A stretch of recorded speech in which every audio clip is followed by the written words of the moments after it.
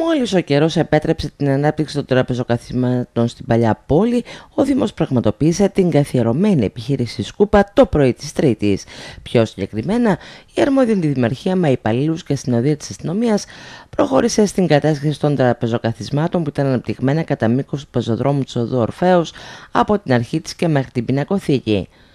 Όπως ήταν λογικό, η επιχείρηση αυτή του Δήμου προκάλεσε την αντίδραση των επαγγελματιών. Τόσο οι επιχειρηματίες όσο και μέλη του Διοικητικού Συμβουλίου του Σωματείου των Καφέ Μπαρ κατηγορούν τη Δημοτική Αρχή για τους χειρισμούς της.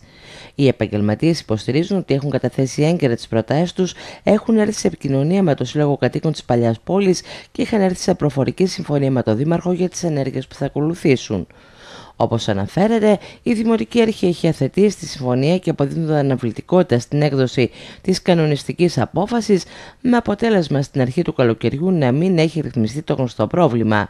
Οι επιχειρηματίες υποστηρίζουν ακόμη ότι με τη στάση στο Δήμος υποβαθμίζει το πλέον αναγνωρίσιμο τουριστικό αξιοθέατο της πόλης.